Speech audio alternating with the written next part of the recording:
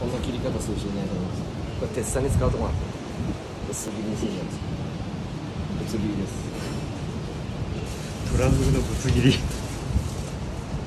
でもこれが一番うまかったんですよ。僕の中ではです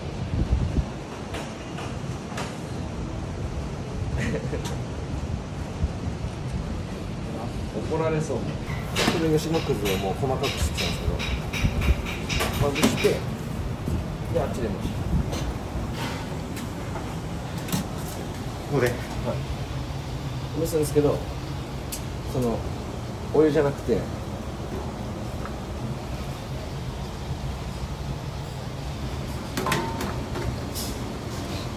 す。でちょっと昆布のうまみも、うん。でくずがこう固まると同時に昆布の香りとうまみを吸って蒸気だから出るじゃないですか。